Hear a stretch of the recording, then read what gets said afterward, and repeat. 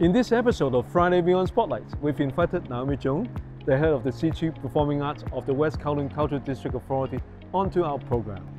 My passion is Cantonese opera, and Hong Kong is one of the best places to enjoy Cantonese opera. Naomi Chung on the next Friday Beyond Spotlights.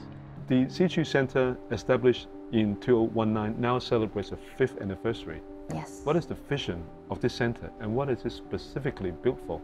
We want to preserve our local art forms mm. and also develop and promote for all the young artists mm. and promote to all the young audience. Mm. So we can continue to have these art forms after 50 years or after 100 years.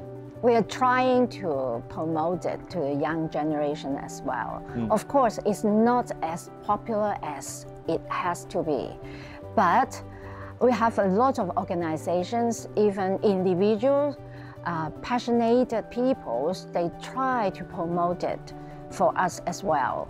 If you are small, you want to learn, we still have some private school.